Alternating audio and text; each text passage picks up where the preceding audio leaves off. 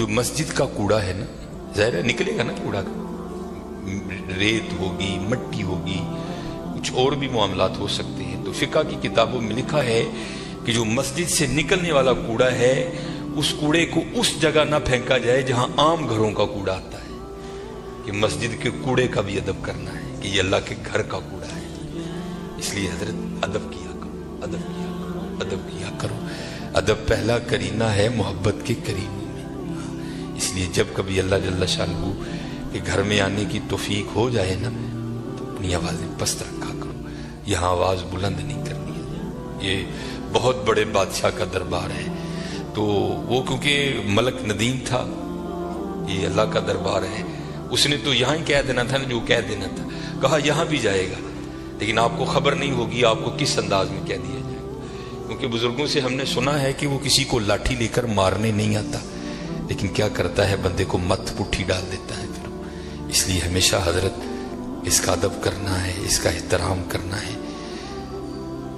मैं ने जब पढ़ा ना कि हज़रत सैदना उमर बिन खत्ताब अमीरुल मोमिनीन रदी अल्लाह तु आप मस्जिद की सफ़ाई खुद किया करते थे। आप मस्जिद की सफ़ाई खुद किया करते थे। इसलिए हज़रत, इस घर से प्यार करो, इस घर की खिदमत करो, इस घर को सजाओ। इस घर को संवारो। जिस किसी ने भी इस घर की खिदमत की ना तो हज़रत फिर वो खाली नहीं रहा कभी। यहाँ हज़रत दुनिया के दो टगे के जो चौधरी हैं, उनकी करो तो कुछ ना कुछ मिल ही जाता है हज़रत। तो ये तो हज़रत बादशाहों के बादशाह का घर है। तो इसकी करेगा तो उसे नहीं मिलेगा।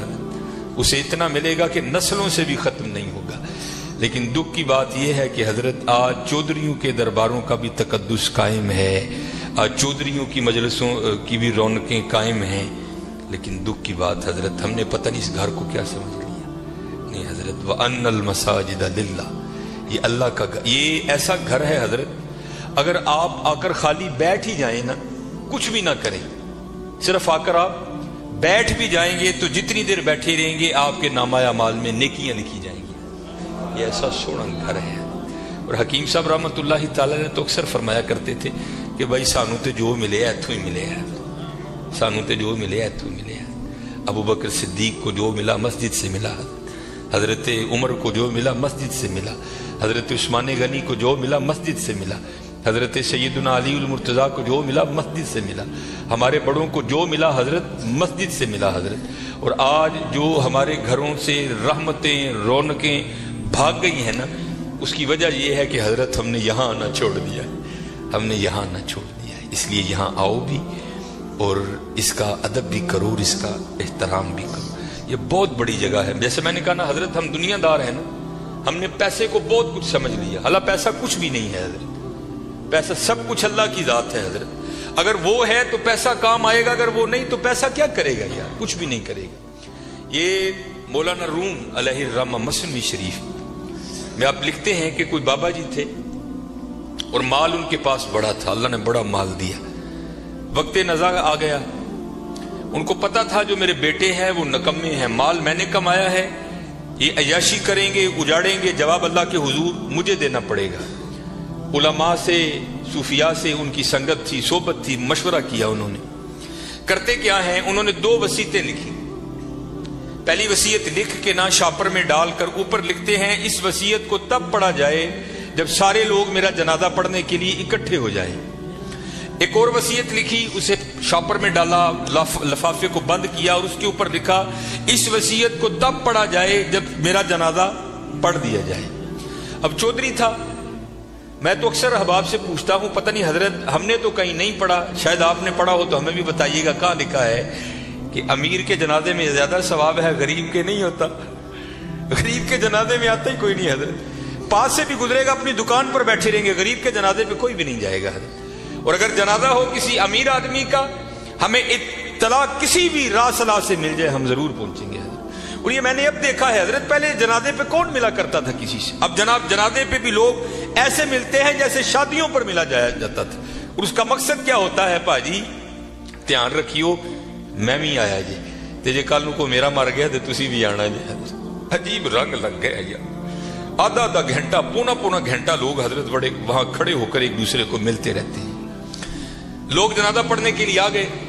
इमाम साहब भी खड़े हुए। आपने लोगों को नीयत बताई। तो जो बाबे का बड़ा बेटा था ना, वो कहता है, मौलवी साहब अब्बा जी और ने दो वसीयत की ने पहली वसीयत पर उन्होंने लिखा है, इस वसीयत को तब खोल के पढ़ा जाए जब सारे लोग मेरा जनाजा पढ़ने के लिए आ जाए। अब सारे लोग आ गए हैं, कितारें बन गई हैं, सफ़े बन गई हैं। तो आप ये वसीयत पढ़े। ये मौलाना रूम लिख रहे हैं, सन सात सौ हिजरी में मसनी शरीफ आपने तसनीफ की। उसमें लिखते हैं कि जब वो वसीयत को पढ़ा ना अलामा साहब ने तो बाबा जी लिखते क्या हैं, जो लोग भी मेरा जनाजा पढ़ने के लिए आ जाएँ और आकर भी ना पढ़ें, मेरे सारे पैसे उनमें बांट दिए जाए। अब जब ये ऐलान हुआ ना तो थे तो हम जैसे ही सारे। उन्होंने कहा, जनाजा फर्द किफाया चंद अहबाब भी पढ़ लेंगे, सबका हो गया। चलो, अगर सवाब की बात है, किसी और का पढ़ के ले लेंगे। यहाँ नगद पैसे मिल रहे हैं। एक निकला, दूसरा निकला, तीसरा निकला। यहाँ तक कि मौलाना रूम लिख फरमाते हैं कि जितने लोग जनाजा पढ़ने के लिए आए थे ना, सब नेकी छोड़कर पैसे लेने के लिए पीछे जाकर खड़े हो गए। अब रह गए सिर्फ़ मौलवी साहब और बाबा जी के बेटे। बाबा जी के बेटों ने सोचा, ले भाई, वो पैसे तो साढ़े ने। ए लै, लोग चले ने। चलो हूँ अब्बा जी ने वसीयत कर छड़ी ये खैर उथे तो रेट नहीं हो सकती लेकिन हूँ कुछ असी भी तो लीए ना एक बेटा दूजा बेटा तीजा बेटा चौथा बेटा चारों जाकर लोगों में खड़े हो गए अब रह गए मोए बाबा जी और मौलवी साहब फिर मुझे यहाँ मियाँ मोहम्मद बख्श साहब याद आए आप क्या फरमाते हैं जान दी वारी क्या डरोना बने डर दे हथ नहीं लाते जिन्हों ਲਈ तू पाप कमाए कितने ने तेरे कर दिए रोना है जी हज़रत मैंने बड़ा बड़ा कुछ देख लिया है। इतना इतना कुछ देखा है कि दिल करता है सिर तिखे पा के टुर जाइए सैड लेकिन क्या करें, ड्यूटियाँ लगी हैं, निभानी पड़ती। मैं नया नया गया ना जो बागडा करूँगा अमीर आदमी लैंड क्रूजर प्राडो जनाब सज्जे खब्बे। मेरी भी थोड़ी फिरकी घूम गई। बड़ी मोहब्बत मिली जनाब। अक्सर बड़े बड़े नाम जाते हुए वसीयत कर गए कि सानू गुसल जरा नाफा साहब देन गया मैं भी नया नया था, मैंने भी चले जाना। एक बहुत बड़ा हज़रत सियालकोट का नाम है गुसल देने के लिए गया। इसी तरह सर्दियाँ थी। बाबा लेटा है चारपाई पे। उसका बेटा खड़ा था तो बाबे ने ना स्वेटर पहन रखा था। स्वेटर भी को माड़ा स्वेटर नहीं, हज़रत। ब्रांड का स्वेटर, कई हज़ार उसकी कीमत होगी। तो मैंने बड़े बेटे को कहा, मैंने कहा, गल, बात सुनो जो तेरे हाथ में ये जो एप्पल का मोबाइल है ना, जिसकी कीमत इस वक्त डेढ़ लाख से ऊपर है, ये बाबे की कमाई का ये तूने हाथ पे राडो बाँध रखी है ना, ये बाबे की कमाई की है। जो तेरे पास लैंड क्रूजर है ना, ये बाबे की कमाई की है। और ये वो बाबा है कि जिसको वली होने की तेरे लिहाज से सनद अल्लाह और अल्लाह के रसूल ने दी है। ये जैसा भी है, तेरे लिए वली है। ज़िम्मेदारी मेरी है जे तू कहे तो मैं बाबे का स्वेटर एने तेन ला के दिना वा कि बाबे ने भी तकलीफ़ नहीं होएगी। तो स्वेटर तू रख लै, बाबे का स्वेटर है। ए सदके तेरिया मौजा ने पाया कर। ये मस्जिद में बैठा हूँ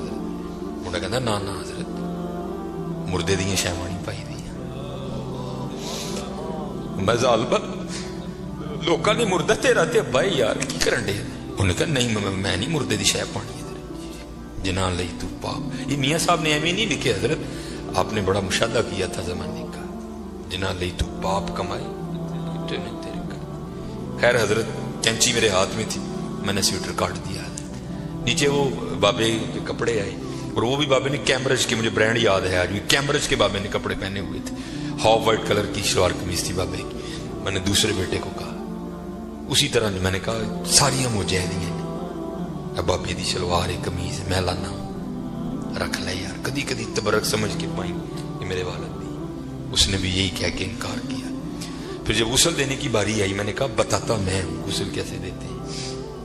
ऐ वो अब्बा जी मोडे से बह के तुम टुरना सीखिया ਐ ਉਹ ਅੱਬਾ ਜਿਹਦੀ ਉਂਗਲੀ ਫੜ ਕੇ ਤੁਸੀਂ ਟੁਰਨਾ ਸਿੱਖਿਆ ਸੀ ਐ ਉਹ ਅੱਬਾ ਜਿਹੜਾ ਕਦੀ ਤੁਹਾਨੂੰ ਮਰੀ ਖੜਦਾ ਸੀ ਕਦੀ ਨਰਾਨ ਖੜਦਾ ਸੀ ਕਦੀ ਕਗਾਨ ਖੜਦਾ ਸੀ ਕਦੀ ਇੰਗਲੈਂਡ ਲੈ ਕੇ ਗਿਆ ਕਦੀ ਸਿਡਨੀ ਲੈ ਕੇ गया मैं दसना मैं गुसल दो तीनों बेटों ने गुसल देने से इनकार कर दिया कुछ भी नहीं हजरत ये इसी तरह है इसी तरह अगर इससे प्यार करोगे वहां बेवफाई करोगे तो इसी तरह है इसी तरह सारे खड़े हो गए रह गए मौलवी साहब और बाबा जी, सारे लोग पैसे लैन खड़ोते चार मलंग पे आमल मिसकाला जर्रा तिन खाई रही यार। अल्लाह कहते अगर किसी ने जर्रे बराबर भी खैर किया ना, मैं ज़ाया नहीं करा उन्होंने बदला दांगा और क्योंकि वहाँ तो हज़रत तोल होगा। फामा मन साकुलत मवाजीन फहुआ फ़ी ईशत दिया जिन्हें नेकियाँ वध गई हैं ज़िंदगी दिल पसंद होएगी। इसीलिए जो अल्लाह वाले हैं, वो नेकियों की बड़ी कदर करते हैं। वो एक नेकी को भी जाया नहीं होने देते। हो सकता है कल यही काम बना दे। और हम तो यहाँ हज़रत ऐसे नेकियों को जाया करते हैं कि अल अमान वल हफीज। बाबे और ईसन, तीन नाल मुरीद सन वेख्या। जनादगा च लोग खलोते ने जाना ही है ना कि पाँच मिनट लेट हो जाएँगे, फ्री दी नेकी है। आओ, चलिए। आकर क्या देखते हैं बाबा जी और कले मौलवी साहब? दुनिया जनाब खड़ी है उधर।